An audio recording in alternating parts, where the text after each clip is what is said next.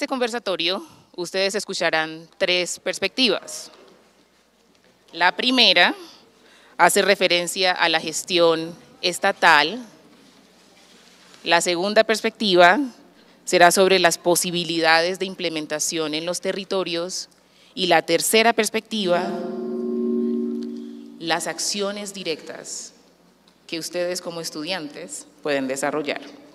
Quiero presentarles brevemente a las personas que nos acompañarán en el panel.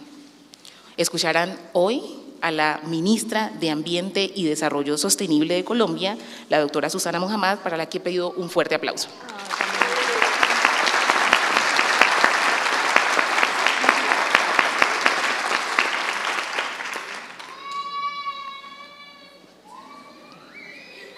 ¿Estamos bien por allá? ¿Todo en orden? Muy bien. Perfecto. Les cuento brevemente sobre nuestra ministra. Ella es una política colombiana ambientalista muy reconocida, politóloga, fue secretaria de Ambiente y secretaria general de la Alcaldía de Bogotá, también estuvo como concejal entre el 2019 y el 2022 y estamos trabajando para garantizar que en las escuelas, también en las instituciones de educación superior, podamos pensarnos esta gestión del Programa Nacional de Educación Ambiental. Tenemos muchos sueños que hoy escucharán cómo planeamos avanzar con esa gestión. También nos acompañará hoy Luis Olmedo Martínez Zamora, él es el director de Parques Nacionales Naturales de Colombia, tiene una maestría en Ambiente y Desarrollo, es especialista en Economía Ecológica, también tiene un posgrado en Construcción de Paz, tiene un amplio conocimiento en este sector ambiental, ha trabajado por mucho tiempo en el desarrollo de la construcción de paz en el país, tiene facultades como facilitador y acompañante en procesos de diálogo social, es miembro del Grupo de Expertos de Desarrollo Sostenible y Medio Ambiente y ha participado en el Foro Nacional Ambiental y también es docente universitario y también les pido que le demos la bienvenida con un fuerte aplauso.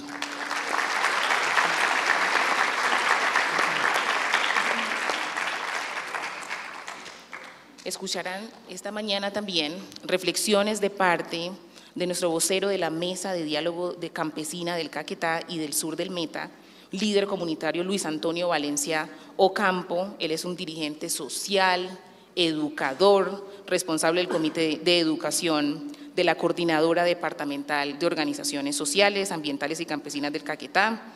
Ha hecho parte de procesos educativos en Cartagena del Chaira como docente y rector de 15 sedes de la Institución Educativa Rural Monserrate. Ha sido promotor de procesos de educación ambiental y aprovechamiento forestal en el marco del proyecto ambiental escolar guardianes de la selva y forjadores de paz. También les pido por favor que le demos la bienvenida con un fuerte aplauso.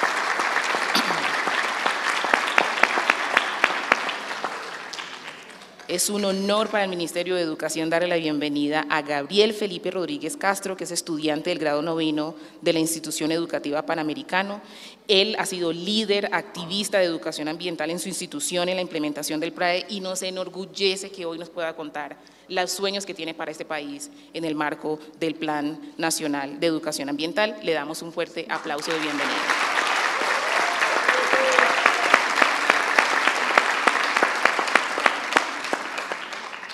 Y también estará con nosotros, con nosotras en esta mañana, el doctor Juan Mayer, creador de la Fundación Pro Sierra Nevada de Santa Marta, mediante la cual desarrolló un proyecto de conservación y desarrollo para la zona.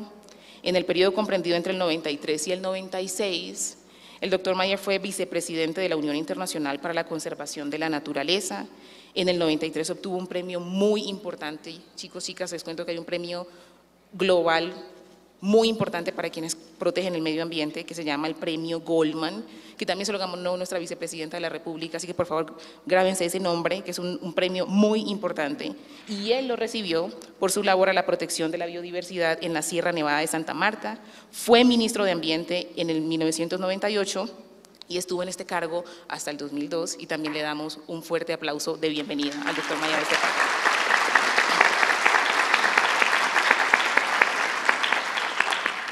Estas serán las personas de las que ustedes van a estar escuchando esta mañana. Espero que tomen atenta nota, que registren muy bien, quienes no veo cuadernos y lapiceros por ahí a la mano, que registren también notas mentales sobre el poder de lo que nos van a enseñar en esta mañana. Abrimos el conversatorio con una persona muy especial. Se llama Abadio Green, el maestro Abadio Green. Ustedes van a darse cuenta en un momento por qué es tan especial.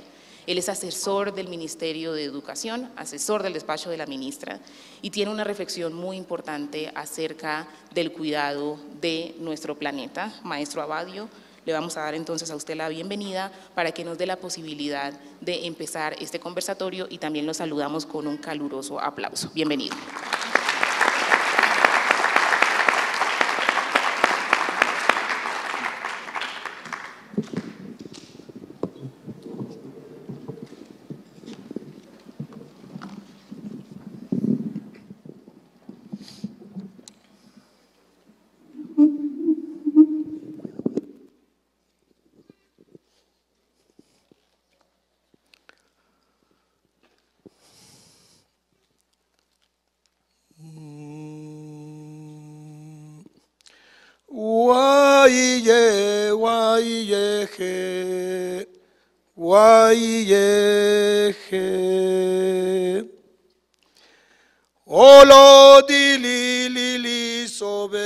Ani dili lili sobeye. Olo arbigi dili mani arbigi dili ye. Wale tayle mariye. Waiye waiye he. Waiye he. Olobi pirgunyai, mani pipirgunyai ye. Olo quadiriai ye, mani quadiriai ye. Nele daile marie. Wai ye, wai ye he. Wai ye he.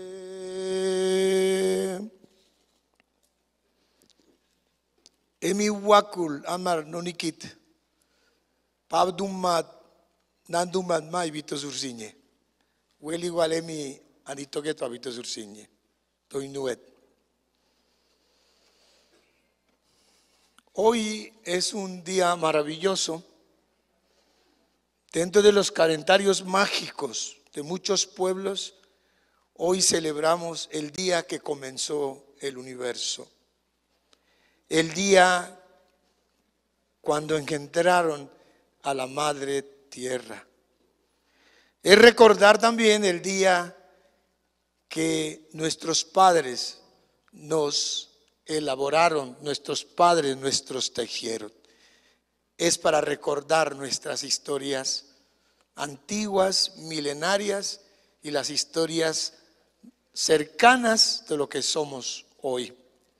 Pero también el número que hoy nos gobierna es el número 5. Son los sentidos.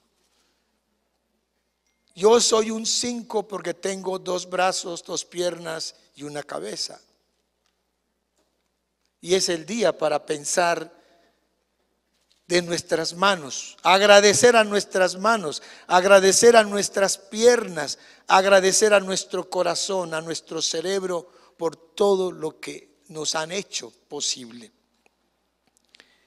Entonces hablar de la vida es el tema que nuestro presidente Petro ha hablado en su campaña y de que hoy el plan de desarrollo está basado por ese pilar Colombia, potencia mundial de la vida, yo quiero referirme a eso. ¿Qué es la vida? La vida debemos empezar a pensar ¿De dónde venimos? Es nuestra primera reflexión, hermanas y hermanos. La vida comienza en el vientre de nuestras madres. Todo el tiempo tenemos que agradecer a nuestras madres porque nos posibilitó la vida, porque por ella es que pudimos tener una relación armónica con el universo y con la madre tierra.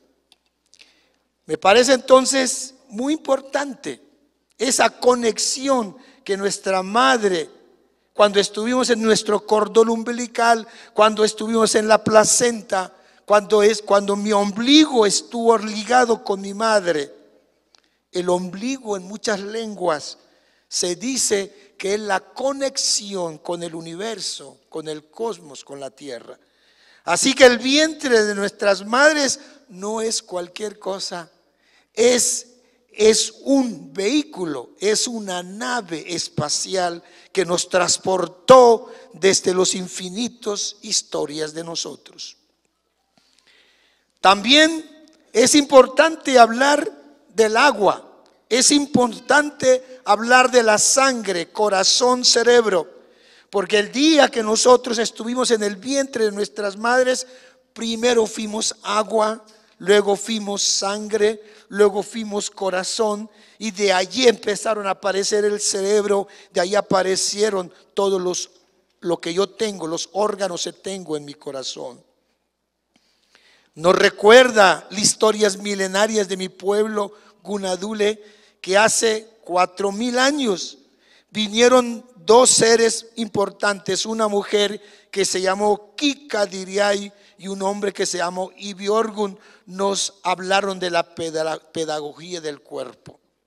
Ellos nos enseñaron de que el corazón es una comunidad, el cerebro es una comunidad, el hígado, los huesos, los músculos son nuestras comunidades. Pero también aprendimos de lo que yo soy y lo que está a mi alrededor también tiene igual cualidad que yo. Ellos también tienen cerebro, tiene corazón. Pero no solamente él y yo nos pertenecemos, sino toda la comunidad. Y desde la comunidad entendimos que todo lo que me rodea a mí son seres vivos la naturaleza son seres vivos. Por eso es que la madre tierra es un ser vivo, es la madre. Y todo lo que hay está en ella es vida. Un cerro es vida. Hay cerros mujer, hay cerros hombres, hay cerros ancianas, hay cerros ancianos. Las lagunas mujeres, las lagunas hombres. Eso es lo que nos, está enseñando. Pero también nos ha enseñado estos seres de qué? De que, de que el arco iris es una persona. También nos han enseñado que el mar es el, es el líquido amniótico de la madre tierra.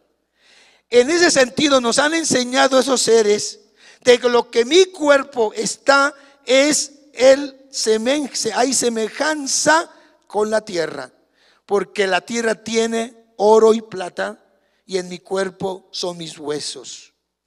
Tengo tenemos petróleo en, las, en la tierra y el petróleo está en mi sangre. Tenemos mar y en el mar está el líquido amniótico de mi madre. Tenemos el carbón en la tierra.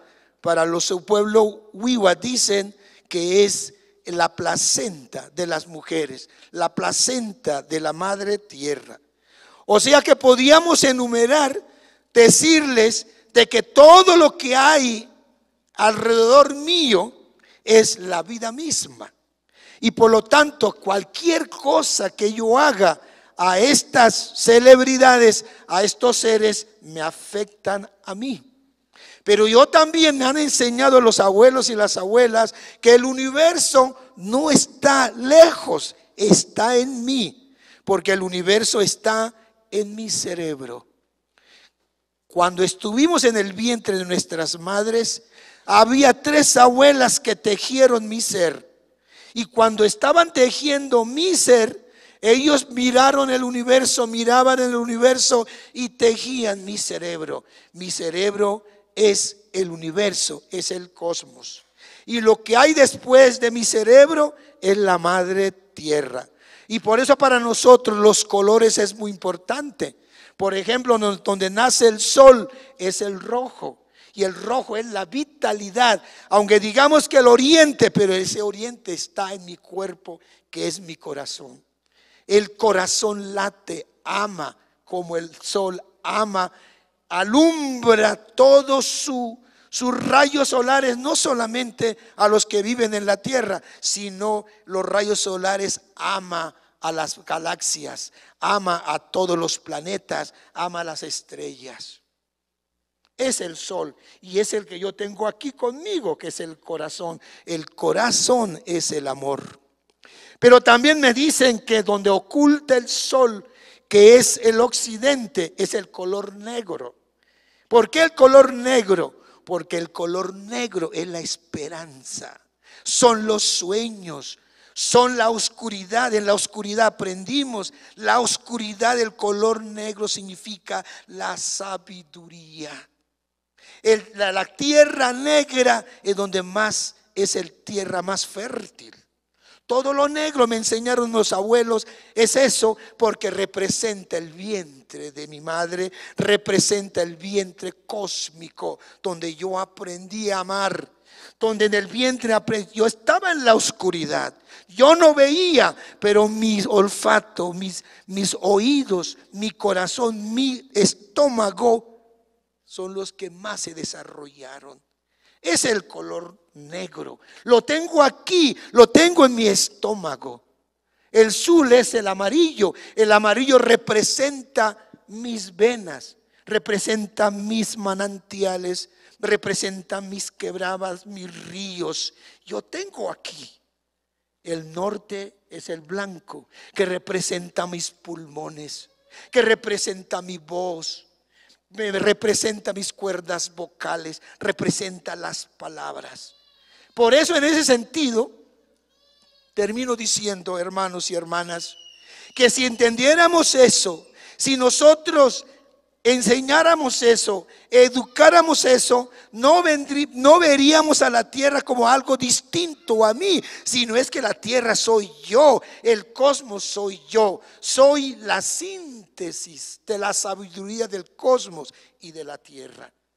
Por eso los abuelos han planteado que la hoja de coca nos transforma, la hoja de coca nos eleva para poder mirar las cosas bonitas que hay en la naturaleza. Por eso el viaje, tomar el viaje, usted se puede transportar una vez tomando el viaje me vino el águila y me dice, Abadio, ¿dónde quieres ir? Le dije, yo quiero conocer el cosmos. Y el águila me llevó a conocer el cosmos. Y luego le dije al abuelo Yaje, yo quiero conocer mi cuerpo. Y me entró a mi cuerpo y encontré y viajé y viajé donde mi hígado, mis pulmones, mi corazón. Eso es lo que hacen las plantas. El cacao es la síntesis de la sabiduría del cosmos y la tierra. Por eso es que nosotros hacemos ceremonias al cacao. Los insectos, peyote, el rapé, el ambil, son seres extraordinarias que nos legaron nuestros antepasados. Hablar de la vida es eso. Hablar de la vida no solamente hablar simplemente de la naturaleza sin mi conexión. Yo creo que la gran equivocación que estamos teniendo, porque creemos que hablar de la naturaleza es fuera de mí. La enseñanza que nos ha entregado los abuelos y las abuelas. Así que cuando el canto que yo hice es a la madre tierra. La madre tierra tiene su mamá que se llama Nandummat. También tiene su papá que se llama Baba Dummat. O lo dililizó, mani dililizó, cuando la madre tierra estaba en el vientre de su madre. Eso lo indica el canto. No, el canto nos va diciendo cuando la madre tierra estaba en el vientre, cuando nació, cuándo fue su parto y el parto cómo fue, cuando la madre tierra nació, cómo estaba el cosmos, cómo estaba los dioses, las diosas de nosotros. Así que, hermanos y hermanas, muy agradecido por este espacio, muy agradecido por hablar de los abuelos y de las abuelas, hablar de la naturaleza, hablar de la educación para la vida, educación para el cuidado de la vida, quiere decir que debemos comenzar el cuidado de nuestro propio cuerpo. Y si no cuidamos nuestro propio cuerpo, es vano hablar del cuidado de la madre tierra. Muchas gracias y buen día.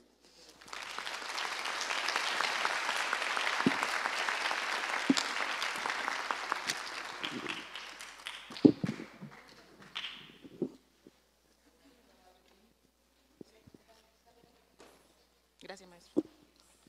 Al maestro Abadio Green le damos las gracias por su reflexión introductoria.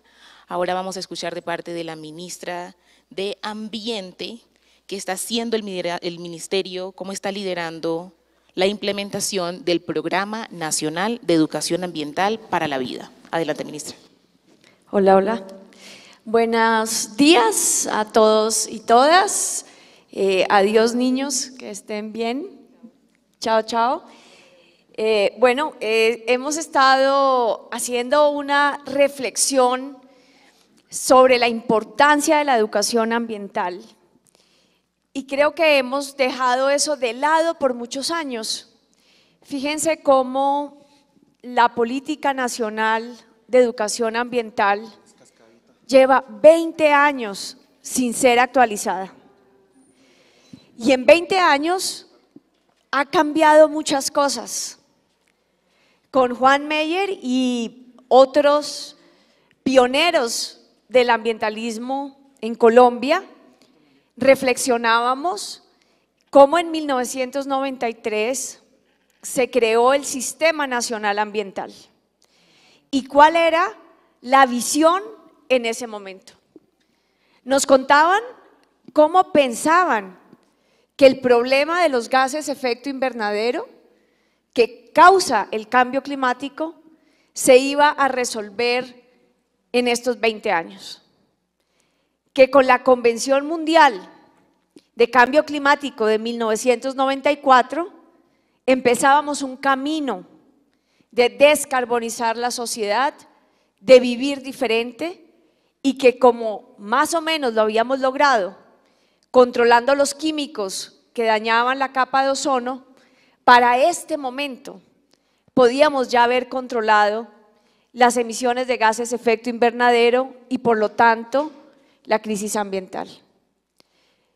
20, 30 años después, este año cumplimos 30 años del Sistema Nacional Ambiental, de la Ley 99 de 1993, no solo no controlamos el cambio climático, sino que hoy podemos declarar que estamos en emergencia climática, que estamos en crisis climática, que el tiempo se cerró, que ya no lo pudimos controlar y que ahora la sociedad tiene que convivir con la realidad de crisis tras crisis.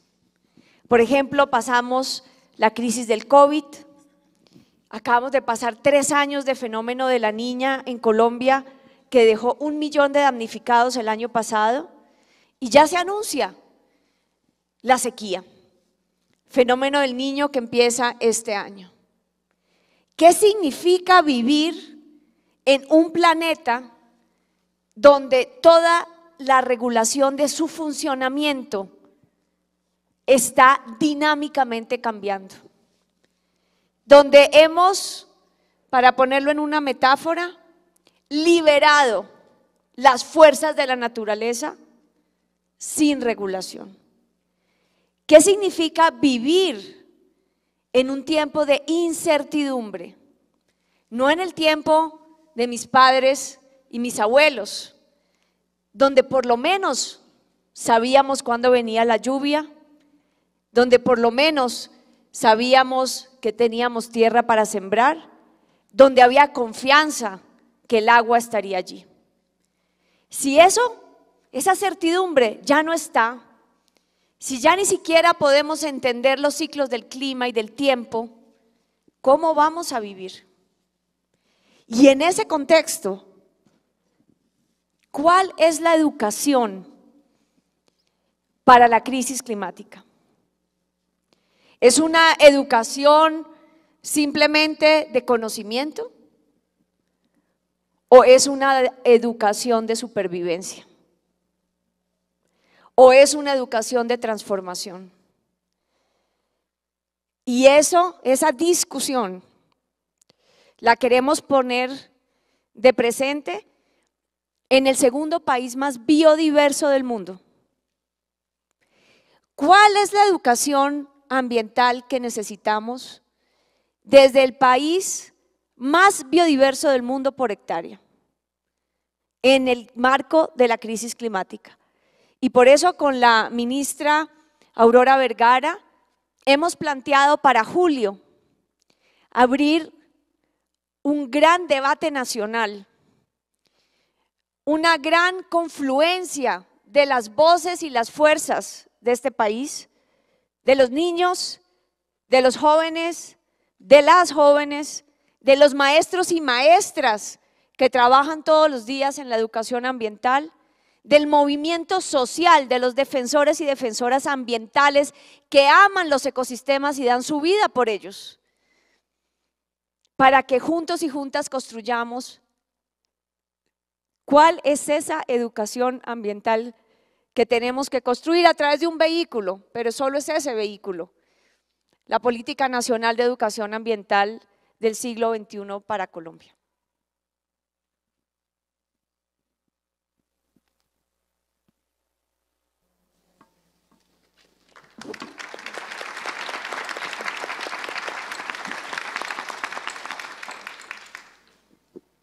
Muchas gracias, ministra. Excelente reflexión. Quisiera pedirle ahora al director de Parques Nacionales que en conexión con la reflexión que acaba de hacer la ministra, nos ayude a entender cómo los parques nacionales naturales están dialogando con las comunidades para la implementación del Programa Nacional de Educación Ambiental para la Vida. Adelante.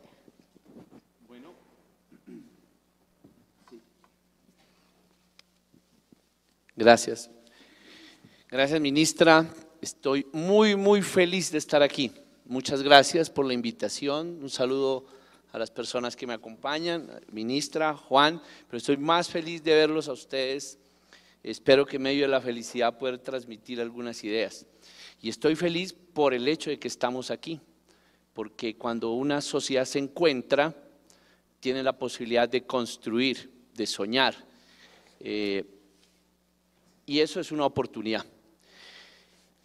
¿Cómo estamos dialogando con las comunidades en parques nacionales naturales de Colombia? Para nosotros, la palabra comunidad es absolutamente central.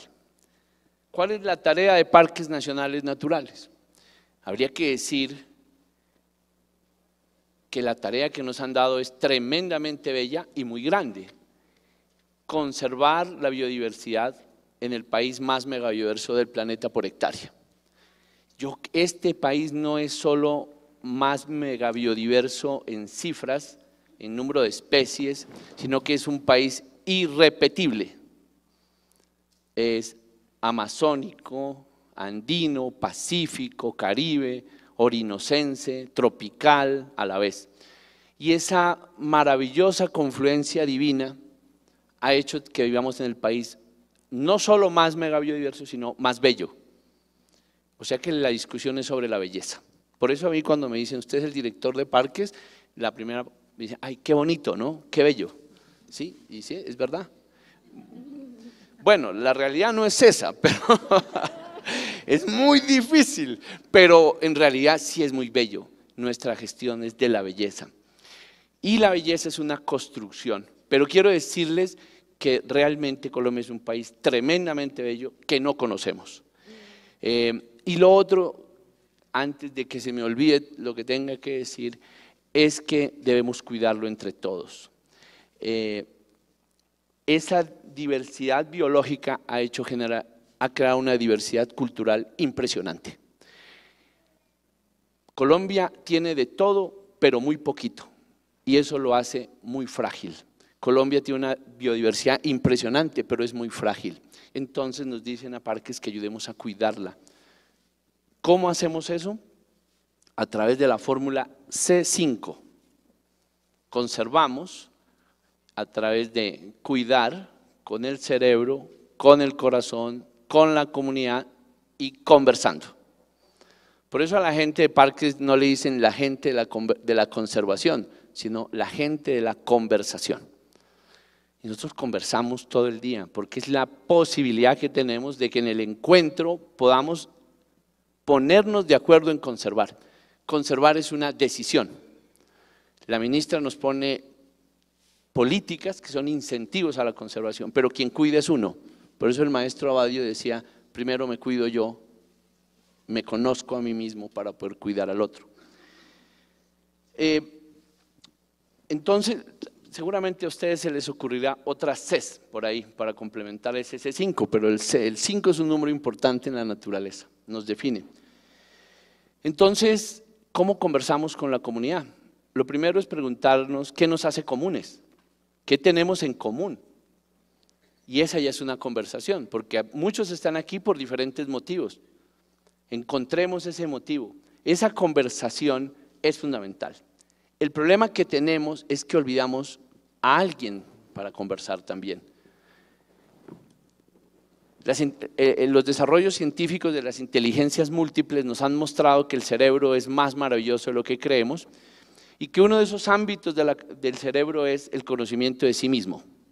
Eso es importante. Conocernos, qué somos, qué sabemos, que, las potencialidades maravillosas del humano. Pero también en la otra inteligencia es la interrelación. Nos relacionamos con el otro. Cómo construimos comunidad, cómo hacemos cosas comunes. Pero se nos olvidó el diálogo con lo otro, con la naturaleza. Nosotros ya no conversamos con la naturaleza, maestro Abadío. Se nos olvidó esa conversación. Entonces dejamos que la naturaleza hable. Se expresa a veces en forma fuerte de un desastre nos faltó conversar. A Parques le han dado esa tarea y por eso la gente de Parques, que tengo que decir que es maravillosa, aprende a conversar con los osos, con los murciélagos, con los ríos y llega a esas conversaciones. Entonces, ¿cómo estamos pensando ese diálogo, ministra? Pues hay que, como nos dice la ministra de Ambiente, tenemos que pensar en la realidad de hoy, en un mundo en crisis, en un mundo cambiante, con posibilidades infinitas pero tenemos que entender qué es lo que está pasando. Nuestra propuesta en Parques es aprendamos juntos. De hecho, con la ministra tenemos un, plan la próxima semana que se llama Aprendamos Juntos. Hemos traído las mejores experiencias de Guatemala, México, Costa Rica, Perú, Brasil, sobre cómo proteger el bosque. Y vamos a ir hacer un intercambio, a conversar. La única forma que tenemos hoy de sobrepasar la crisis es que aprendamos a trabajar juntos. Necesitamos gente valiente, decidida a trabajar juntos. Y ese es un conocimiento, otra C, que nos falta. De tal manera que la estrategia que tenemos de aprender juntos implica con la naturaleza. La labor de enseñar es muy bella, Conversar implica mostrar, y si no estoy mal, maestro viene de mostrar. El que muestra. El maestro tiene una función terapéutica. El psicólogo cuando uno tiene un problema dice, ay, no, sé qué hacer. El, terapeuta le da opciones. Mire, piense A, B, C. Pero también el maestro le enseña, le muestra, le indica, como decía Rabelais, no es un vaso que llenar, sino una llama que encender. Cuando usted va en contacto con la naturaleza, se da cuenta lo frágiles que somos, lo que depende, de, nuestra vida depende de las abejas más que de nuestro empleo. Pero comprender eso requiere sensibilidad y por eso hablamos del corazón, de la conversación, de aprender a hablar con las abejas. Eh, conversar implica qué es lo simbólico de una sociedad, a qué le damos valor. Eh, unos paisanos míos ya lo adivinaron, yo soy de Pasto, pero era una trivia también, era una adivinanza. Entonces, eh, en el Galeras le pregunté a una señora que vive en el parque y dije, ¿usted qué opina del volcán? Y me dijo, ah, del abuelo. Ah, no, si la señora le dice abuelo al volcán, ya estamos en el otro lado, ¿cierto? Porque imagínense lo que representa. La ministra, junto con la ministra, estamos en un proceso de ayudar a proteger los sitios sagrados de la Sierra Nevada de Santa Marta. Fuimos con un ingeniero y nos dijo, no, pero eso es una piedra.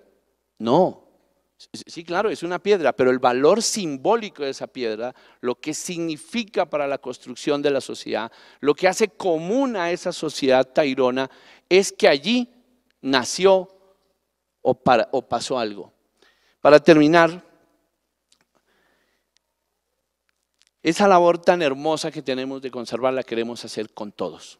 Trabajar juntos significa trabajar con todos. En un país que ha sido golpeado por la violencia y sigue siéndolo, pero este país quiere construir la paz. Eh, es un país en violencia y también desigual. Nosotros creemos que al mostrar la naturaleza, al invitarlos a conversar con la naturaleza, tenemos una opción de paz. Y por eso con la ministra Aurora y con la ministra Susana queremos llegar a dos templos, los parques y las escuelas. Son dos templos en donde la vida pasa y engrandece al ser humano para poder hacer una educación cada vez más que nos llene de personas sanas, porque tenemos que sanarnos y esa es nuestra propuesta de aprender juntos con la naturaleza y es la propuesta de paz con la naturaleza. No podemos construir la paz si no construimos la paz con la naturaleza. Nosotros dependemos, no somos la especie dominante, esa es la gran mentira. Eh, somos una parte de esa naturaleza como nos enseñó el maestro Abadio Green y nuestra propuesta es aprendamos juntos para hacer una paz con la naturaleza. Muchas gracias.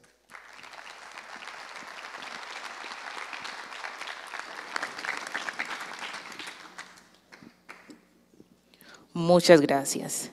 Quisiéramos ahora pedirle entonces al doctor Juan Maya que nos ayude a reflexionar sobre las recomendaciones fundamentales que debemos tener en cuenta para implementar estos programas de educación ambiental. Preséntenos ejemplos de todo lo que usted ha vivido en las últimas décadas y ayúdenos entonces a articular esta gestión que estamos tratando de presentarle al país. Adelante. Eh, ministra, ante todo, mil gracias por la invitación un placer compartir este espacio con este distinguido panel con diferentes visiones, diferentes aproximaciones con la ministra Susana y el director de parques, pero también con el maestro Abadio y con el líder, yo diría, un gran líder del Caquetá con una experiencia magnífica y la juventud emergente que ya nos empieza a pedir cuentas. Eh, ¿Qué puedo decir yo? Eh, me ha fascinado el inicio de esta conversación con el canto, porque el canto nos lleva al origen. Uno siempre tiene que preguntarse sobre el origen de las cosas. ¿Por qué estamos hablando de educación ambiental? ¿Dónde está el origen de la educación ambiental? Esa sería una primera reflexión que uno se puede hacer, porque para entender la educación ambiental y el porqué y la razón de esa educación ambiental, necesitamos conocer el origen. Aquí hemos tenido ya varias pistas. Una primera, la reflexión que nos hace el maestro Abadio en el sentido de que la geografía y la naturaleza es sagrada, lo mismo que nuestro cuerpo. Ese es un concepto muy profundo, porque nosotros hoy estamos en una sociedad que no tiene un concepto de origen. Son múltiples los orígenes y por lo tanto múltiples los debates y de pronto por ahí una gran confusión. Eh, estamos en una sociedad que ha destruido, una sociedad destructora. Todos hacemos parte de esa sociedad que ni siquiera vemos por dónde sale la luna o el sol o en qué momento está la luna o cuándo cantan los pájaros, porque estamos entretenidos con otras cosas. Y ahí es donde llega el concepto de educación ambiental que se empieza a dar en el momento en que la crisis ambiental empieza a mostrarse. Y con esa muestra de la crisis ambiental que empieza mucho tiempo atrás, bueno, no mucho, cinco décadas atrás, porque el tema ambiental es muy nuevo también.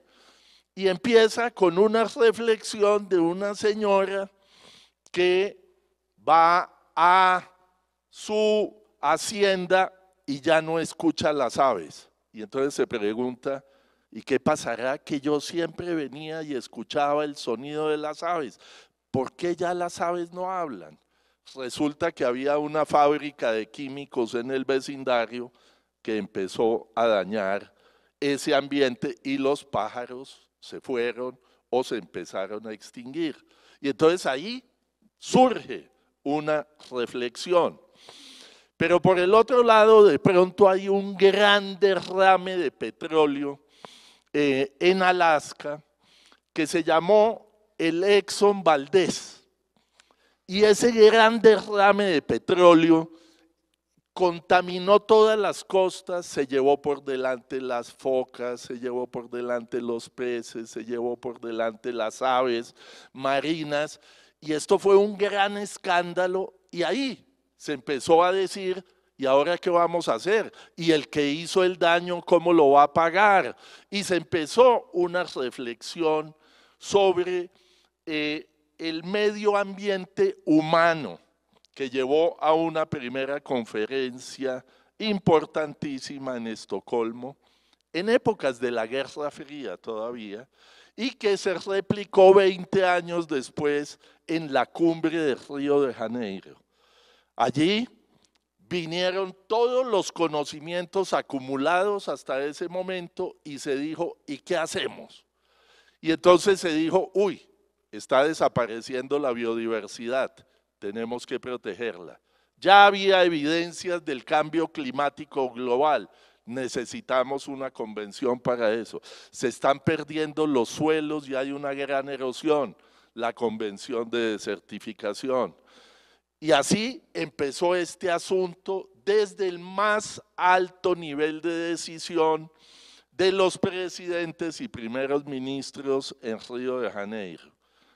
Pero han pasado desde el 92 hasta nuestros días ya eh, varias décadas y los problemas van en aumento.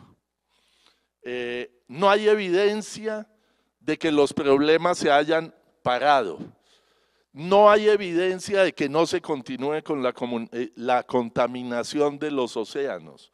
No hay evidencia de que no estén desapareciendo los ecosistemas. Y para un país como Colombia, el tema del patrimonio nuestro, de todos ustedes, de nosotros aquí sentados, es el patrimonio natural. Esto es lo que nos dio la tierrita. Tenemos los más lindos ecosistemas del planeta, todos amenazados y en peligro, por una concepción del desarrollo devastadora.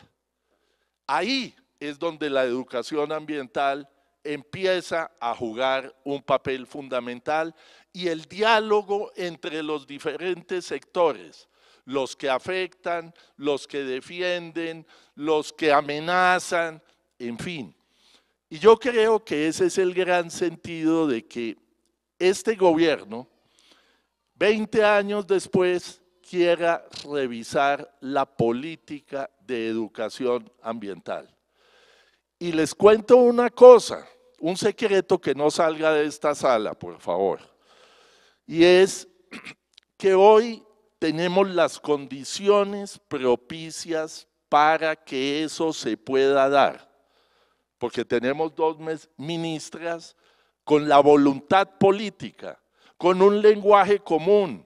Tenemos un gobierno que cree en estos temas, que pone el medio ambiente como prioritario, que pone la educación como prioritaria.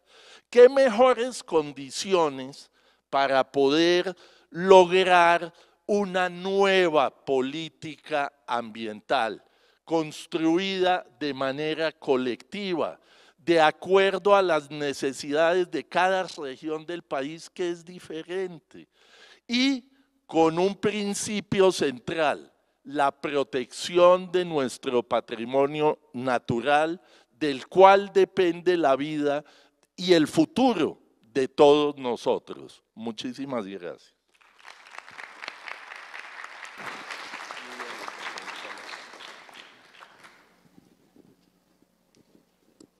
Muchas gracias. Quisiéramos darle ahora paso a nuestro líder estudiantil, y a nuestro líder social para reflexionar en torno a la siguiente pregunta. Vamos a empezar con Gabriel Felipe. ¿Cómo crees que podemos participar desde diferentes sectores de la sociedad civil para implementar la política de educación ambiental, comprendiendo, en tu caso, por ejemplo, el contexto escolar, contextos culturales y prácticas tradicionales de los territorios? ¿Cuáles serían las reflexiones que quieres que este público se lleve? Em, en primer lugar, eh, se puede hablar mucho acerca de esto porque usualmente a la gente que no le interesa mucho este tema no le gusta investigar acerca de esto y no se informa. Es mucho mejor incentivar a los estudiantes y a las personas a que investiguen acerca de estos temas y que sepan cuáles son las problemáticas que están alrededor de nuestro ambiente y de, toda Colombia porque usualmente podemos observar problemas como la expansión de las ciudades, que consume bastantes bosques, eh, la quema de árboles, la tala, todo esto, y con esto hay muchas problemáticas que se tienen que solucionar. Todo esto debería ser investigado tanto por estudiantes como ciudadanos y que se debe detallar bastante bien porque puede que tengas un punto de vista completamente distinto al mío o puedes que encuentres una problemática social diferente a la que yo puedo encontrar. Desde mi punto de vista es mucho mejor incentivar a los estudiantes y en sí a los padres de familia a que incentiven a sus hijos a investigar de este tema que ellos aprendan por sus propios medios, que ellos busquen estudios, que ellos sepan qué es lo que está ocurriendo alrededor del mundo, en su propio país y en otros países, para que así ellos puedan saber perfectamente qué es lo que está ocurriendo. Porque nunca se sabe si es que puede salir otra variante o algún detalle más el cual puede afectar todo el panorama que estamos viendo actualmente. Maravilloso. Maravilloso, muchísimas gracias. Un fuerte aplauso para él. Yo quisiera preguntarte algo. ¿Cuándo surgió esta preocupación en tu vida? ¿Desde cuándo estás transmitiendo estos mensajes de protección del medio ambiente? Desde que a mí me, siempre me ha interesado mucho este tema porque es bastante preocupante ver esta clase de problemas que estamos viendo, como el derretimiento de los pueblos y todo esto. Y, estos, y este miedo en cuanto al medio ambiente y lo que está pasando lleva bastante tiempo ya, tipo uno dos años o hasta más. No sé precisamente en qué momento o en qué lugar fue que ocurrió ese pensamiento que algo malo podría pasar en cuanto al medio ambiente. Pero lo que sí tengo entendido es que esta preocupación ya es algo que es demasiado gigante, ya no se puede controlar. Estamos en un punto sin retorno y si no lo estamos, estamos a punto de llegar a este punto sin retorno. Si no logramos detener la, la propagación del CO2 y no, y no detenemos esta gran, este gran expandimiento de las ciudades y todo esto, vamos a ver que no vamos a poder detenernos en algún momento y no vamos a poder hacer nada en cuanto a esto. Gabriel, muchísimas gracias por su reflexión. Ahora queremos pedirle a Luis Valencia que nos ayude también a reflexionar desde su rol como vocero, desde su liderazgo, cómo pueden participar diferentes sectores de la sociedad civil para implementar la educación ambiental. Adelante. Bueno, muchas gracias por esta participación. Eh, desde la hermosísima laguna del Chairá, en Cartagena del Chairá, un saludo a todos los panelistas, ministras. Eh, quiero empezar diciéndoles que la educación ambiental tiene que partir desde esa participación efectiva de las comunidades para lograr realmente que se aplique el enfoque territorial. Debe de partir de ahí. Nosotros tenemos una experiencia muy bonita. En el año 2015, Cartagena del Chairá, que se escucha por las altas cifras de deforestación. Allá la institución educativa rural Monserrate, la más apartada, alejada del municipio, logró construir a través, nos basamos en los proyectos ambientales escolares, que la ministra, la ministra de Educación eh, sabemos que son proyectos que parten de un problema ambiental sentido en la región y que la mayoría de los PRAES a nivel nacional solamente los, los enfocábamos en residuos sólidos o en el manejo de las basuras. Este PRAE lo quisimos convertir en un PRAES enfocado a enseñar el contexto amazónico hacer la transversalización curricular, a sacar los niños de las aulas de clase y llevarlos a la selva, a que conozcan qué es lo que tienen alrededor, qué es lo que tenemos. Vinculamos los padres de familia, vinculamos esos expertos locales, esas personas con ese conocimiento ancestral de la Amazonía. Los convertimos en docentes que llegaban a enseñarnos allá cómo llama este árbol, para qué sirve. Hicimos esos monitoreos de fauna, flora, fuentes hídricas, vinculación de toda la comunidad educativa. Logramos esos impactos. Uno de los impactos más grandes fue frenar la deforestación, reducirla del 2018 al 2019 en un 80% allí en este núcleo 1 de Cartagena del Cheira. Y logramos crear esa conciencia ambiental en los niños, jóvenes, adultos, hasta el punto que una niña, cuando empezó el grado sexto, en el 2015 y en el año 2018, estaba ya enfocada en la conservación y valoración del entorno amazónico y de regalo de 15 años le pidió al papá que le diera una reserva de allá de la finca, que el papá quería derribar, porque en el mes de noviembre empiezan a socolar para derribar en el mes de diciembre, enero. La andilla pidió de regalo de 15 años esa reserva, que hoy en día está allá en el Bajo Caguán, en Monserrate del Caguán. Y a nivel educativo, ministra de Educación, logramos elevar la calidad educativa. Del 2015 al 2018, aquí, en mayo del 2018, en el día E de la excelencia educativa. Empezamos el 2015 con un índice sintético de calidad de 1.45 y en el 2018 subimos a 7.46. Que fuimos reconocidos como una de las instituciones en el ciclo secundario como la número uno en, el, en Colombia, reconocido por el presidente Juan Manuel Santos de esa época, acá en un evento en Bogotá. Creemos que son experiencias significativas que hay que tomar para la educación ambiental en los territorios.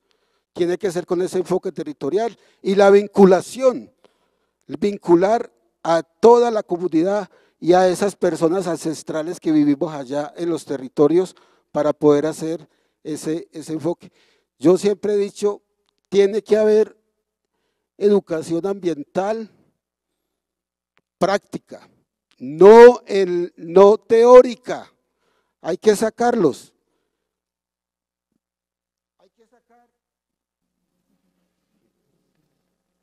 Hay que sacar los niños a que conozcan qué es lo que tienen alrededor, para así ellos valoren, conserven, cuiden.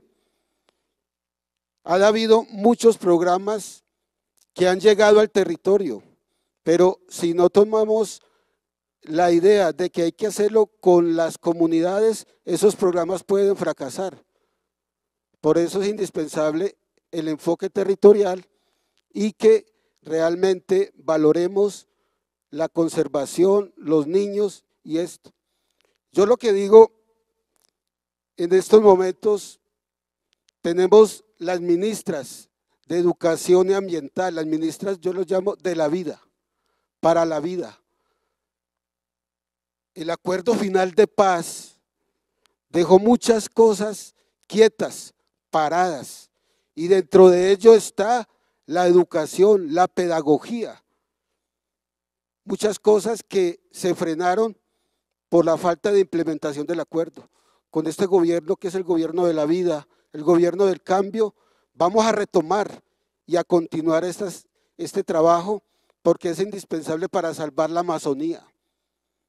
Para salvar la Amazonía que, como una vez lo dijo la ministra de Ambiente en una intervención, desde allá vienen esos ríos de vida que llegan acá, a Bogotá. Desde allá tenemos que protegerla y necesitamos que realmente con la implementación del acuerdo final de paz podamos darle vida y continuar estos procesos que están quietos, que se nos quedaron quietos en el camino. Debemos de seguir allá fomentando este proceso.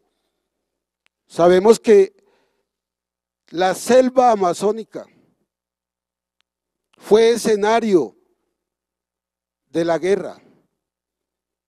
Ahora tiene que ser un escenario de paz. Tenemos que reconciliarnos social y ambientalmente. Y siempre lo digo en, las intervenciones es, debemos de convertir la selva en las aulas de clase.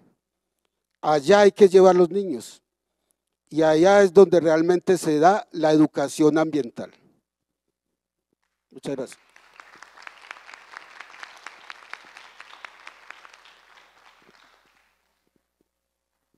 Infinitas gracias. Ha sido un honor escuchar las reflexiones que ustedes nos plantean en el día de hoy en torno a la importancia de un programa nacional de educación ambiental para la vida. Ahora vamos a pasar a un ejercicio súper corto de trivias rápidas para poder sintetizar cuatro grandes ideas. Entiendo que nuestro equipo va a conectarles a ustedes a estas trivias con un código QR que va a salir por acá en algún momento. Entonces nuestros panelistas van a responder un par de preguntas. ¿Cómo quieren que hagamos esto equipo? ¿Ya estamos listos para hacer la conexión? Adelante. Mientras vamos haciendo ese ajuste, quisiera retomar un par de ideas centrales que van a ser fundamentales para llevarnos hacia el futuro. Ustedes nos han enseñado en este momento la importancia de cuidar nuestro cuerpo para cuidar el planeta. Y eso me dejó reflexionando mucho, porque eso tiene una conexión con incluso la selección de lo que comemos, la selección de lo que tomamos, la selección de los espacios en los que vivimos, las plantas de las que nos rodeamos. Fundamental la importancia entonces que avanzamos en una apuesta de actualización de una política ambiental que ha estado esperando por 20 años para que esto ocurra, la importancia de reconocer que estamos en una crisis climática que necesita reconocer el impacto del fenómeno de la niña y prepararnos para lo que puede ser el fenómeno del niño. Saber que en tiempos de incertidumbre como estamos viviendo, nos podemos preparar haciéndonos preguntas esenciales sobre cuál es la educación para la crisis climática, cuál es la educación ambiental que se necesita en este momento. Nos preparamos para julio, para nuestro gran debate nacional, la confluencia de múltiples fuerzas para garantizar que actualizamos esta política nacional de educación ambiental, para reconociendo que esta biodiversidad que es tan frágil necesita esa, esa conversación con los ríos y esa conversación con la naturaleza. Les agradecemos porque nos han enseñado en este panel que la educación ambiental es una educación para la paz, la educación ambiental es una educación para la equidad territorial, es una educación para la justicia social, es una, una, educación para la economía, que esa educación ambiental es para vivir con dignidad en los territorios. Creo que estamos listos, ya están conectados, están conectadas. Muy bien, ¿están ustedes listos? Van a tener 20 segundos para pensar las respuestas a cada una de estas preguntas. Entonces vamos a empezar con la primera. Autor, autora o libro que es fundamental para la educación ambiental. Vamos con el maestro Mayar. ¿Usted tiene por allá micrófono?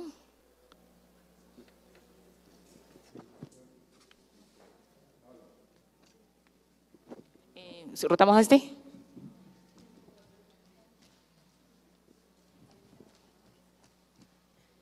Gracias, muchas gracias, ministra.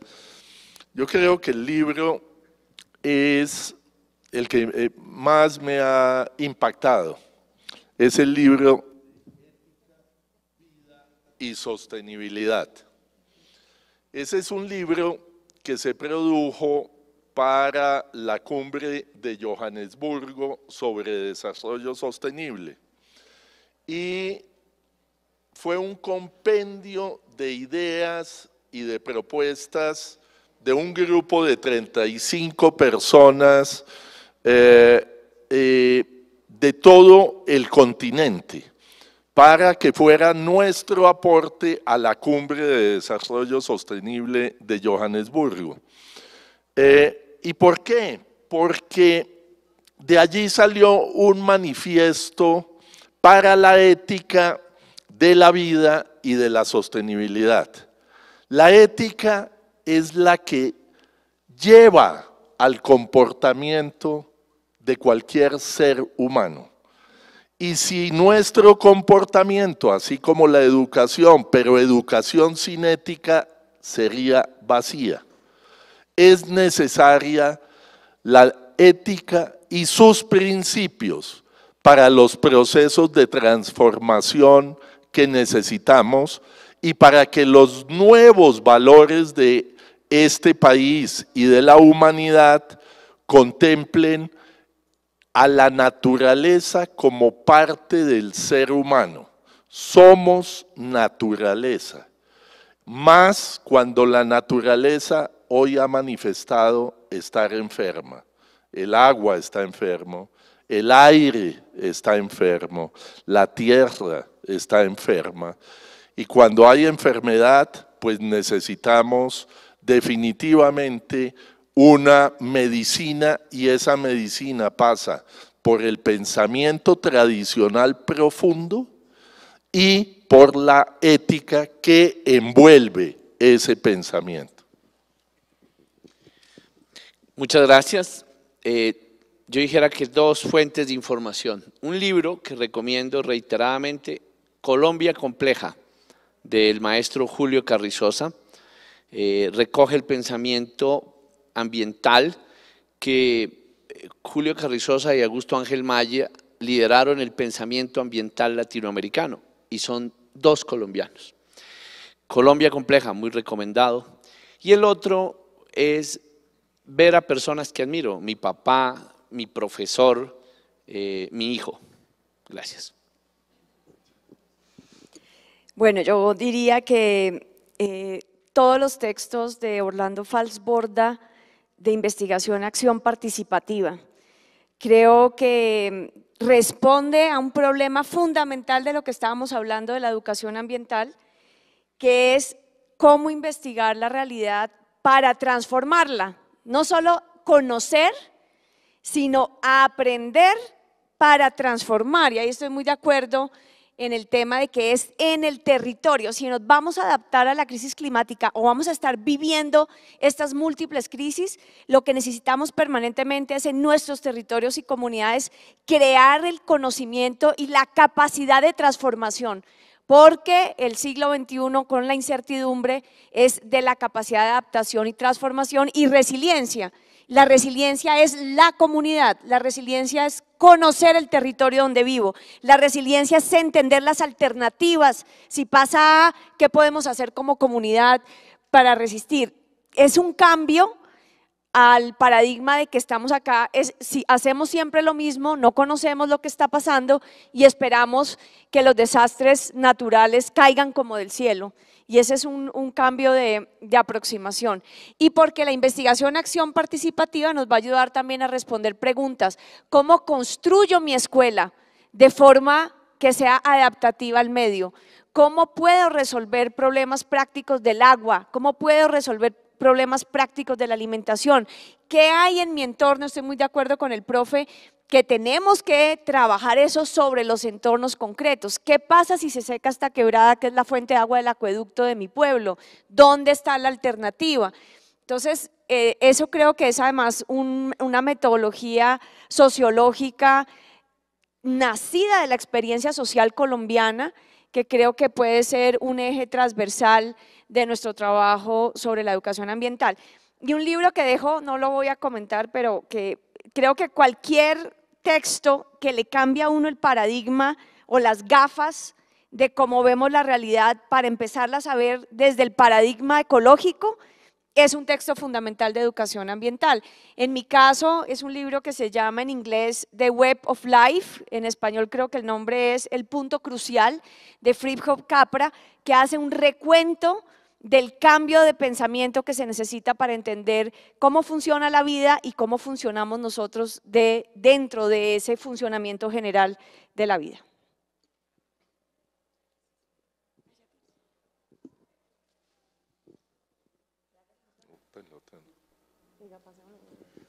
Siempre hay que tener alternativas.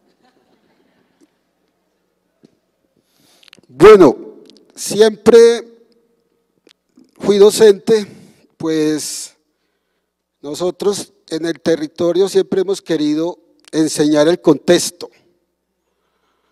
Y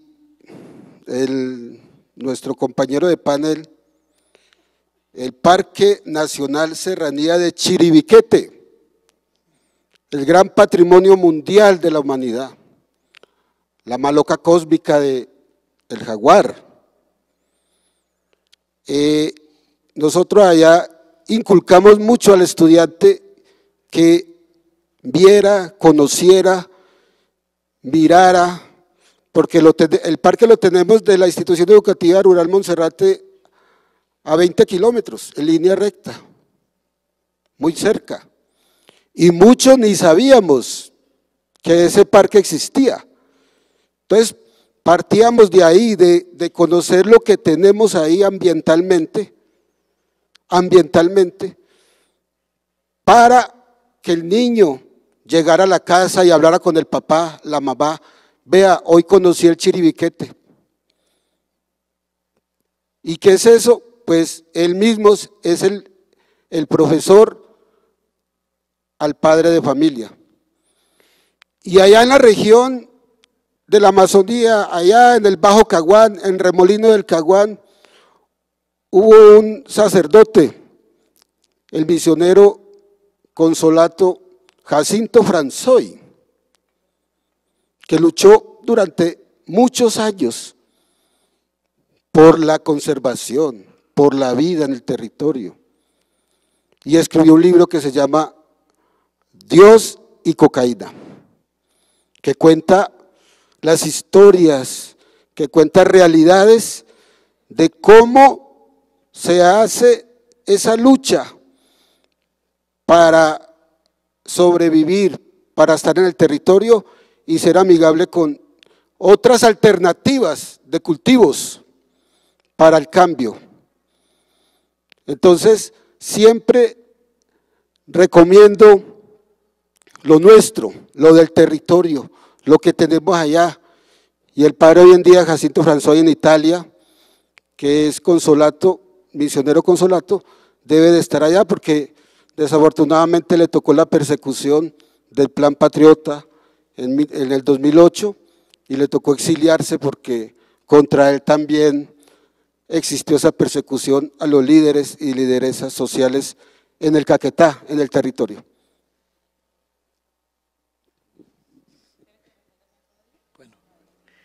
Mira, eh, investigando un poco sobre por qué la educación que tenemos en el país realmente no se acerca a los pueblos, me di cuenta que, que todo es desde que llegaron los otros hombres, porque son puros hombres que llegaron aquí a América, no había ni una sola mujer.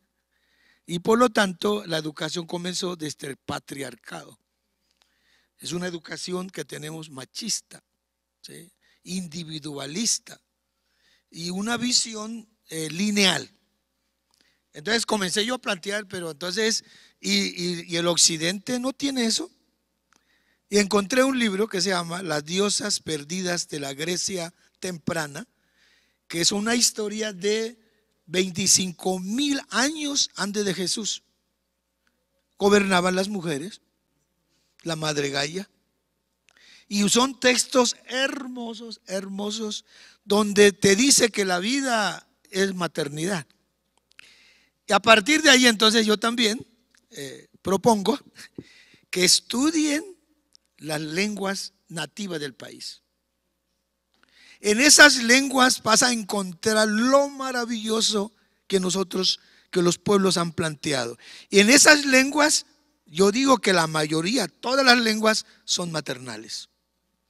Mi lengua que yo hablo, el 99% es maternal. Por eso las lenguas indígenas no tenemos el artículo. Nosotros decimos madre, padre, no más. En las lenguas de nosotros no existe padres, existe madres. O sea que lo que yo quiero decirles es, si nosotros realmente yo no estoy hablando de mujer o hombre, estoy hablando de la maternidad, todos tenemos, hombres y mujeres.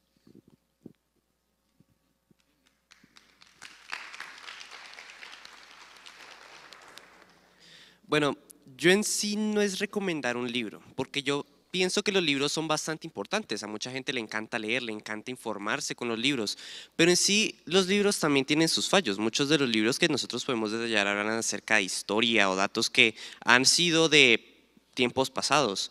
Pero yo principalmente me baso en más bien artículos que pueden encontrar simplemente en internet.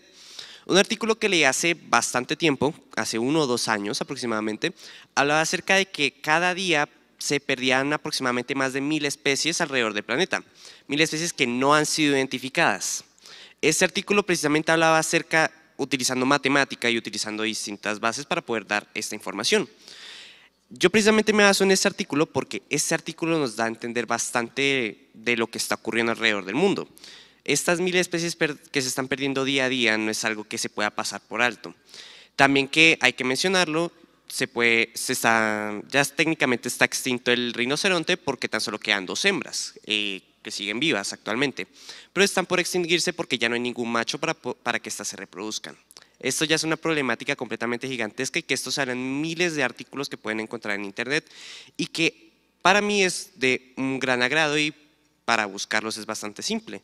Tan solo es buscar en internet y encontrar esta información bastante simple. Muchas gracias. Eso quedó... Muchas gracias a ustedes por esta reflexión inicial sobre autor, autora o libro fundamental para la educación ambiental y este árbol nos quedó muy bello.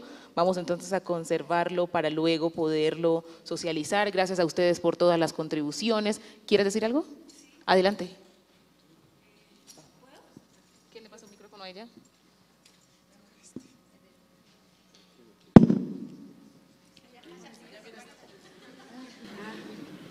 Buenos días. Soy Amparo F. Triana, eh, representante de una organización de víctimas con derecho a las historias y la historia con derechos. Eh, nosotros eh, tenemos un grupo de personas que trabajan por el medio ambiente, por la no violencia contra el medio ambiente y por la no violencia contra los niños, las mujeres y las víctimas porque así como nosotros tenemos derechos, el medio ambiente también tiene derechos.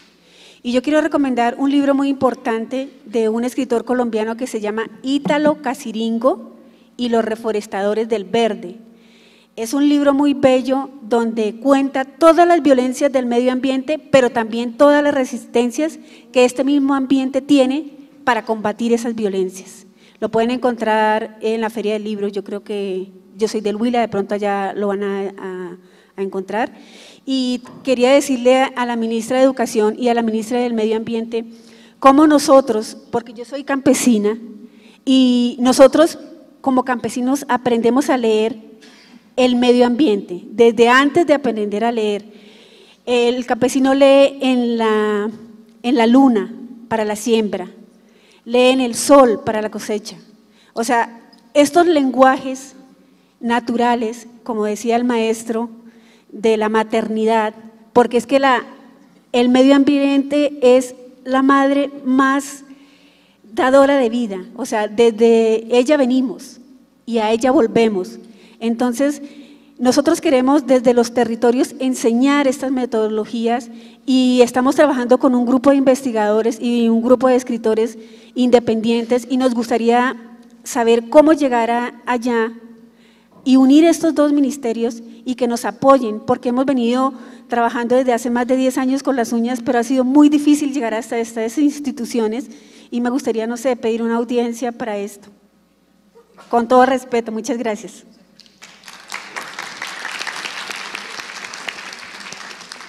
Eh, Amparo, muchas gracias por su intervención. Ahora aquí del Ministerio se van a conectar con usted entonces para que podamos articular. Mónica Benavides se va a contactar con usted para que podamos establecer esta reunión. Vamos con la siguiente pregunta de la trivia. Parque natural indispensable para visitar. ¿Usted tiene por allá, maestro, un micrófono? ¿O le mandamos este?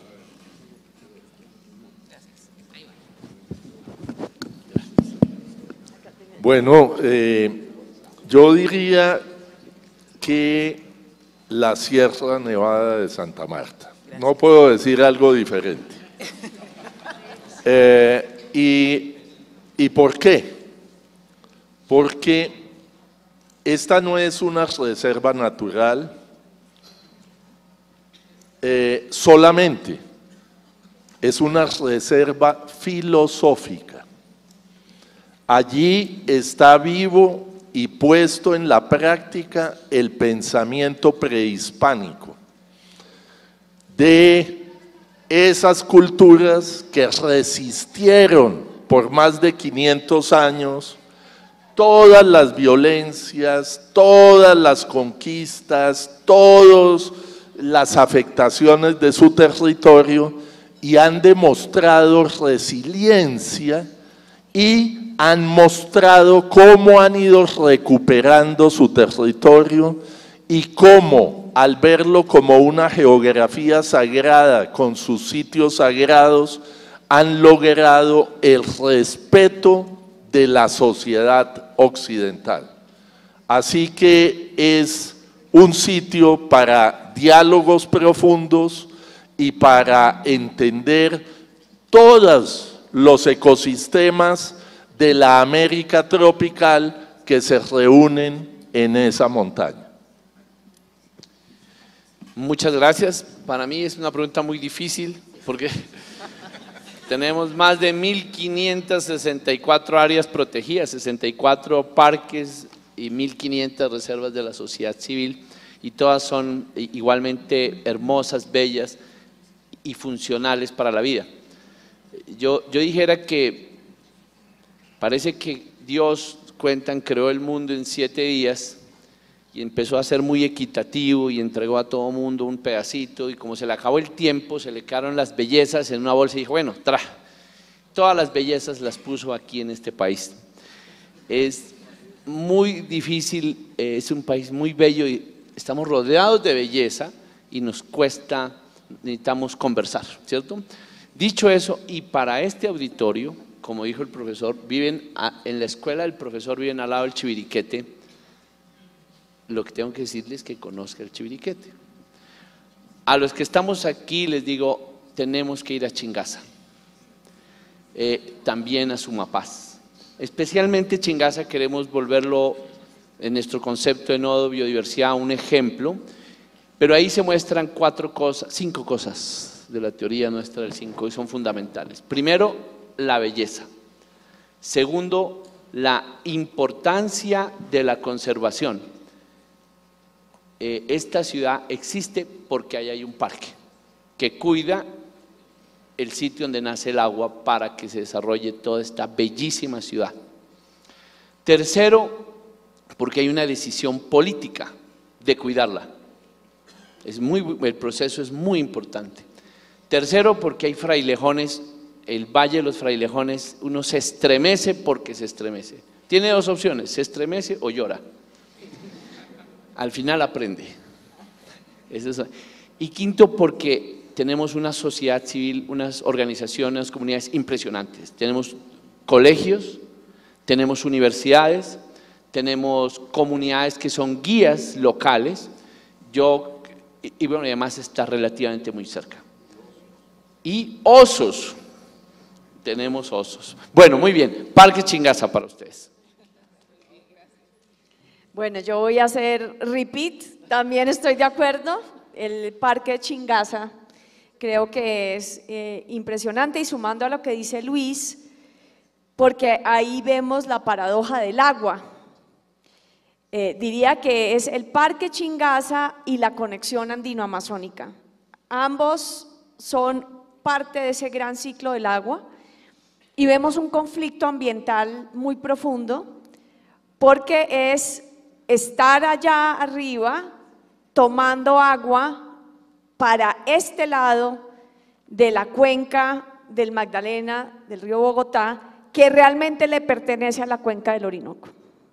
Es ver lo que llamamos a través de la ingeniería, en el, Parque Chingaza nace eh, la fuente de agua, pero luego se desarrolla en un gran proyecto de ingeniería que trasvasa ese río Guaitiquía que debería ir, y ustedes cuando vayan a Villavicencio van a ver ese río Guaitiquía pasando por la mitad de Villavicencio, pues el agua en un 85% que consumimos en Bogotá la tomamos de ese río y esa agua debería ir hacia los llanos orientales, el Orinoco, hacia Villavicencio y la tomamos allá arriba y la trasvasamos, la pasamos para acá.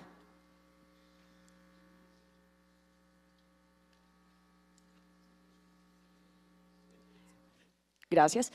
Ese eh, creo que es un conflicto ambiental porque fíjense que en este momento hay planes de expansión de la, urbanización y de la población en la sabana de Bogotá. Y entonces siempre la pregunta es, ¿y de dónde vamos a sacar el agua? Si ya la cuenca del río Bogotá la tenemos absolutamente contaminada, que es de donde deberíamos estar consumiendo nuestra agua, y el acueducto de Bogotá habla de extender el sistema de Chingaza. Pero ya la gente en el meta dice, no, no, no, no, Bogotá, van a seguir sacando agua de nuestra cuenca para seguir ampliando la urbanización, por lo menos van a pagar compensación por eso, por lo menos van a mirar qué pasa del otro lado si seguimos aumentando el trasvase de cuenca. Y creo que allí hay un conflicto que tiene que ver con nueve millones de personas que habitamos esta sabana de Bogotá, pero tiene también que ver con nuestra interconexión a través del agua. Y vamos a ver eh, lo que los científicos nos han enseñado, que son los ríos voladores también, que es esa gran nube de neblina que aterriza en el páramo y cómo ese ecosistema maravilloso está diseñado para captar eso y volverlo nacimientos de agua, de los cuales hoy, eh, pues por lo menos en esta parte del territorio, de eso vivimos nueve millones de personas. Ser conscientes de lo frágil en lo que estamos, en lo que vivimos, si ese sistema cambia, qué pasa con nuestra capacidad eh, de tener agua, eh, creo que nos da mucha humildad para entender, a pesar de toda nuestra tecnología, de esta gran ciudad, realmente la fragilidad en la que estamos.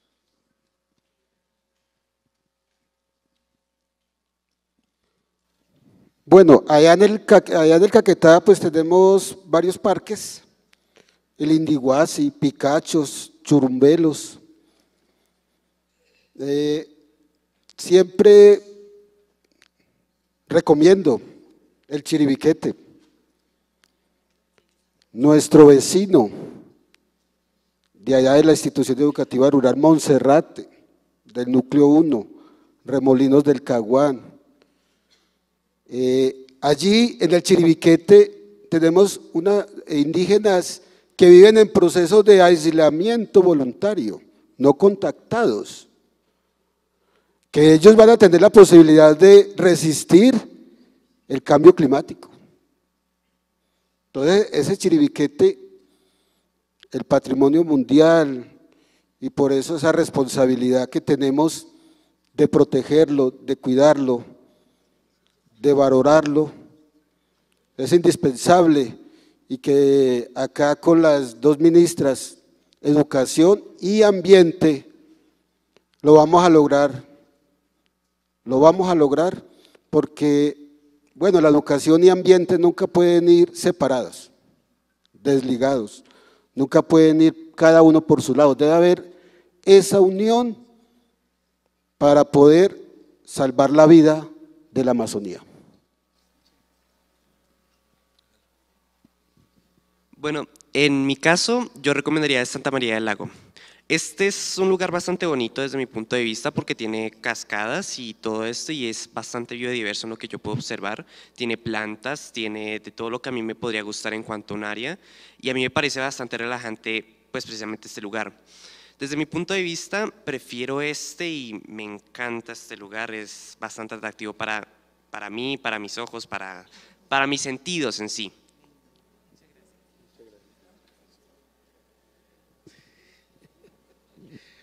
Muy difícil, ¿no?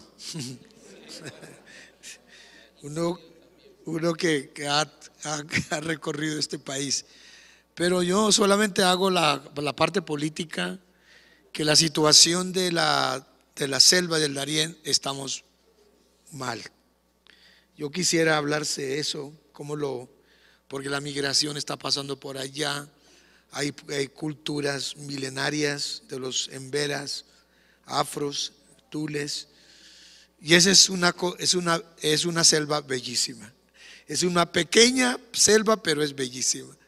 Aquí hay una biodiversidad, tenemos el océano Atlántico y el Pacífico. Yo estuve en un lugar donde en una montaña se llama Tacarcuna, llaman en el, en el mapa, pero en la lengua de nosotros es suavecito, es Dagargunayala, así se llama.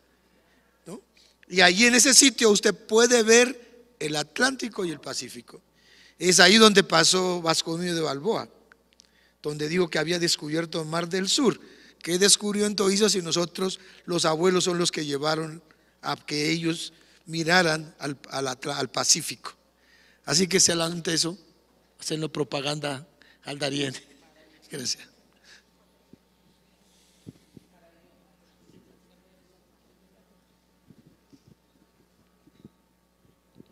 Esta sesión de las trivias ha sido muy emocionante. He visto la manera como ustedes se han conectado. Allá veo debates entre los equipos que estaban debatiendo cuál de los parques naturales era indispensable visitar. El tiempo ha llegado al final. Necesitamos continuar con las actividades programadas por el Ministerio de Educación Nacional en el marco de Filpo. Solamente voy a anunciar que teníamos otras preguntas para la trivia que no vamos a poder socializar. El lugar favorito para leer, el territorio natural que debemos priorizar y cuidar, entre muchos otros. Nos van a quedar como memoria entonces estos árboles que resumen Aquí también las ideas y las contribuciones que ustedes nos hacen. Está bellísimo este ejercicio, gracias a todo el equipo del Ministerio de Educación y a todas las personas que contribuyeron para que esto saliera adelante. Gracias a ustedes por sacar el tiempo en medio de agendas complejas para estar aquí. Gracias por permitirnos aprender, por permitirnos reflexionar y por conectar estas acciones tan importantes veo un debate entre el Ministerio de Ambiente y Parques Nacionales Naturales. Yo quisiera saber qué está pasando ahí. ¿Qué pasó ahí? ¿Qué, qué debaten ustedes? Lo que salieron allí, tenemos una participación antes de cerrar, nos ayudan con un micrófono, por favor, una y otra y otra. Tenemos tres participaciones, con ustedes cerramos el panel.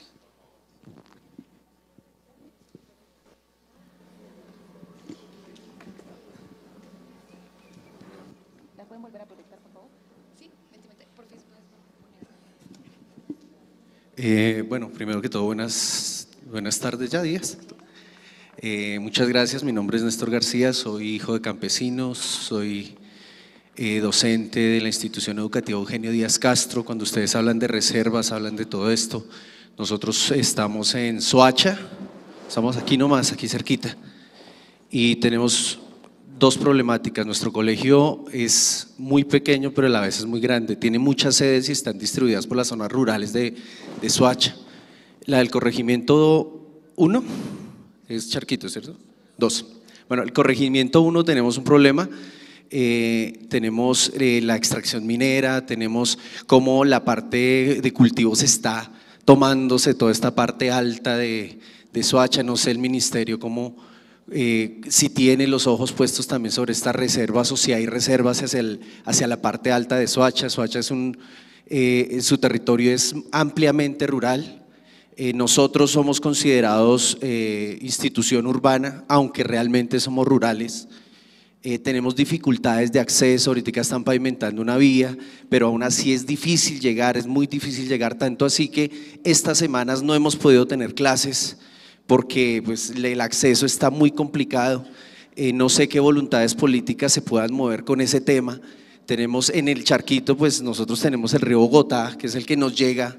Hay colectivos, hay exalumnos, están los mismos estudiantes que están trabajando por esas reservas, por esas pequeñas reservas hacia la parte, estamos entre las dos vías y ellos hacen lo posible, ellos hacen reforesta, están haciendo eh, jornadas donde se plantan árboles, donde se cuidan las reservas, los nacimientos pequeños que ellos tienen, pero definitivamente este tema del río es muy complejo y son temas que a nosotros se nos salen de las manos. Alguna vez teníamos una, un encuentro con, con ingenieros de Engesa que estamos, los tenemos ahí nomás y ellos decían es que el agua cuando está contaminada pesa más y esto nos sirve más a nosotros aunque pues, pues no lo podemos decir abiertamente, pero sí es importante y quisiera saber si los ojos de ustedes están puestos en esta comunidad tan pequeña, eh, que es este pequeño colegio rural que nosotros tenemos allá.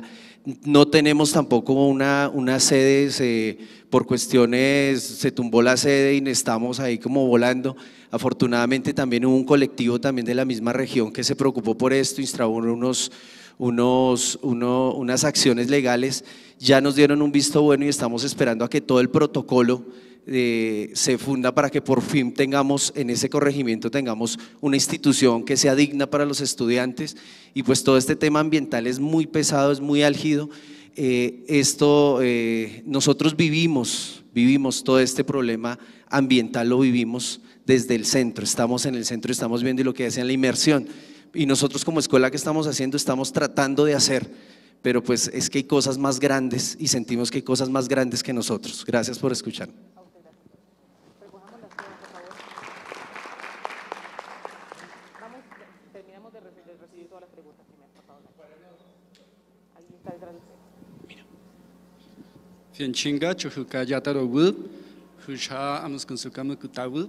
Buenas tardes a todos y todas. Mi nombre es Yátaro o César Sánchez.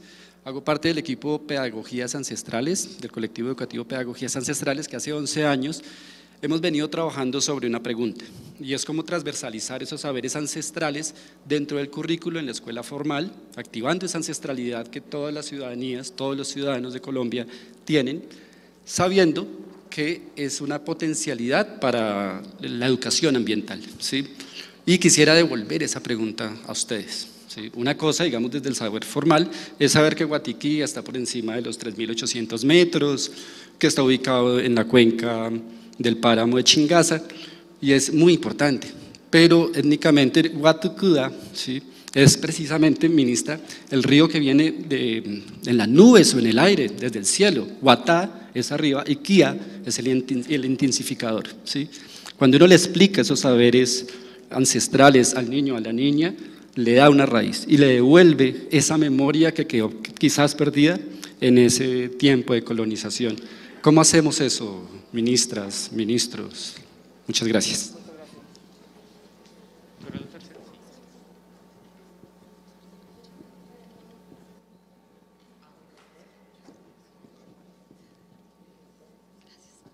Muy buenas tardes para todos y todas. Mi nombre es Ingrid Antolines, directora de la Escuela de Artes de la Universidad Central. Primero que todo, quiero celebrar, celebrar estos espacios en donde empieza a haber una intención de articulación entre los diferentes ministerios, porque los esfuerzos de manera aislada, históricamente en el país, pues no han dado resultado. Entonces, celebro ello.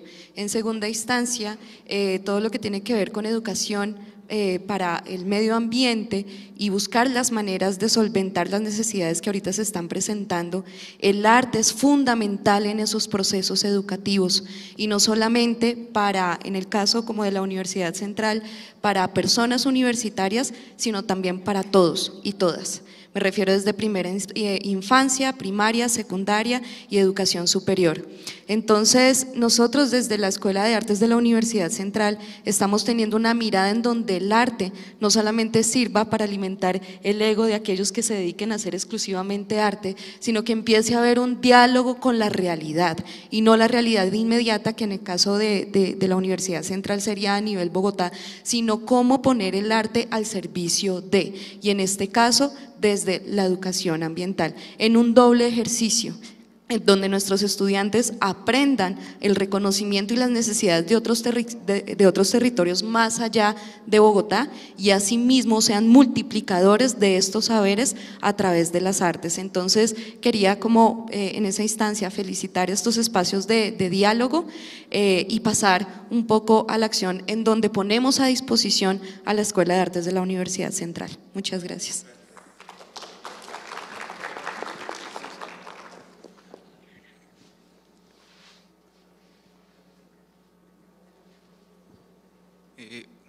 Hola, muy buenas tardes para todos y todas. Mi nombre es Oscar Prieto, vengo representante de los estudiantes del sector rural Orgullo de Soacha, vengo al corregimiento 2 de la institución educativa Eugenias Castro, secundaria, grado 11, en el cual me acerco a ustedes con tres proyectos favorables, temas acerca de salud mental, en el cual es, tiene temas sobre senderos, eh, senderos, talleres de música y PPP, que es Proyecto Productivo Pedagógico, en el cual el sendero lo queremos utilizar para temas de salud mental, el que los estudiantes sepan y aprovechen este gran beneficio que tienen y sepan utilizarlo para una buena alimentación en diferentes temas. Con los temas tenemos animales, que ya que me parece que los estudiantes cuando tienen acercamientos animales tienen temas y conocimientos de cómo tratar así, digamos, tener cuidados, el tema de música, que nos sirve también como temas de, liberación mental, temas de salud mental y el tema de PPP, que son productos que utilizamos nosotros, nosotros mismos los elaboramos y un otro taller es PPP Junior, el cual tenemos, pero no tenemos ayudas necesarias para elaborar esto, en el cual estadísticas nos dicen que eso nos ayudan bastante, ya que en el últimos dos meses, enero y febrero del 2023, se subieron las cifras de sustancias psicoactivas al 267%. Entonces nos gustaría de su ayuda, señoras ministras, que se acercaran a nuestro colegio y ustedes mismos pudieran observar esto. Muchas gracias.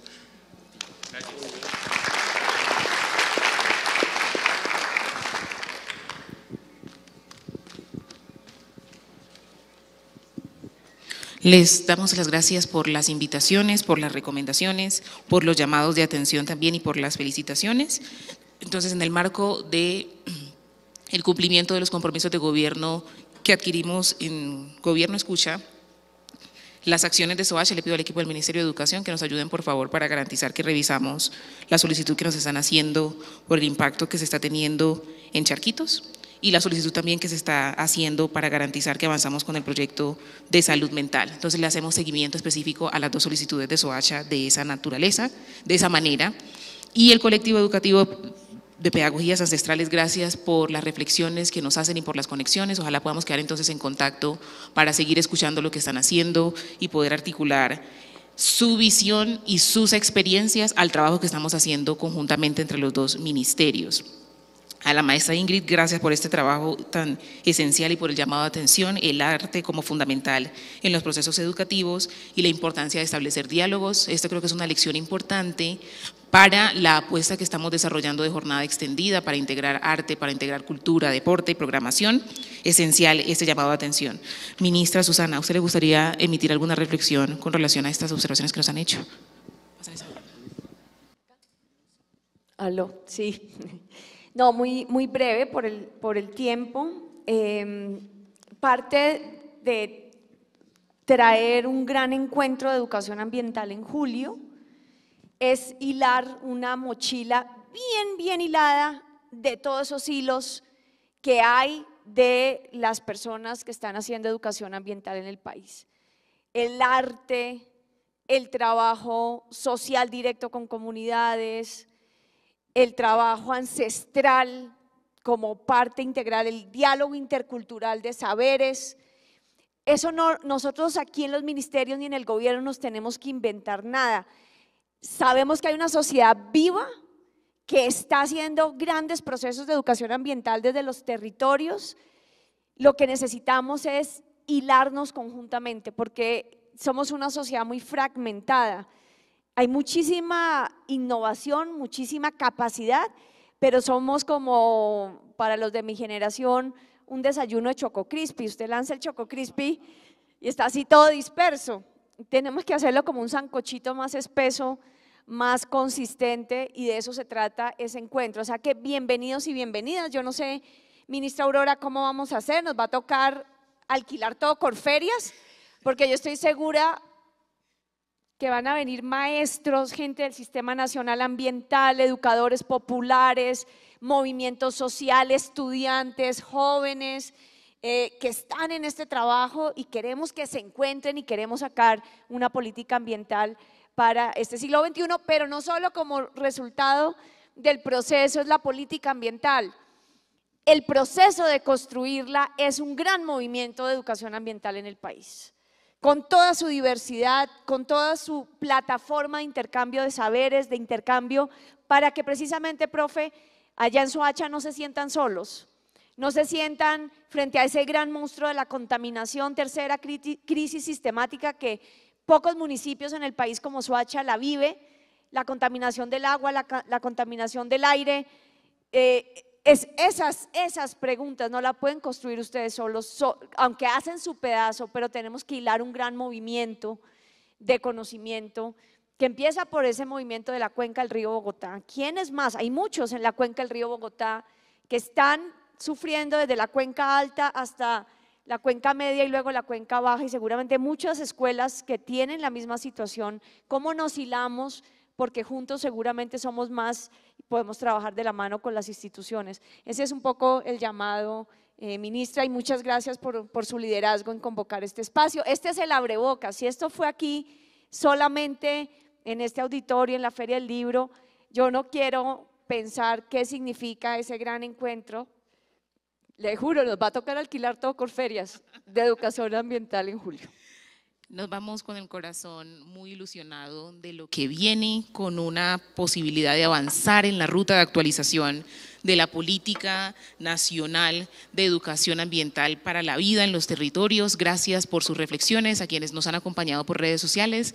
Les invitamos a dejar los comentarios que nos permitan continuar preparando este gran evento de actualización de la política de julio. Sabemos que vamos a poder articular estas reflexiones. A cada una de las personas que hicieron intervenciones ahora, les pedimos por favor que se acerquen al equipo del Ministerio de Educación. Mónica Benavides debe estar por ahí, está por allá levantando la mano, para que por favor quedemos en contactos, queden con los registros de los datos de todos los proyectos y las solicitudes que nos han hecho para que podamos hacer seguimiento y dar respuestas. Insisto en el agradecimiento, ustedes han sido muy generosos con su tiempo, muy generosas con su tiempo. Gracias por enseñarnos tanto, por ayudarnos a caminar esta ruta de actualización de la política. Le damos las gracias a todo el equipo de Filbo, a todo el equipo del Ministerio de Educación que ha trabajado tan fuerte para hacer este posible. Vamos a tomarnos una fotografía y un fuerte aplauso para todos ustedes. Que estén muy bien.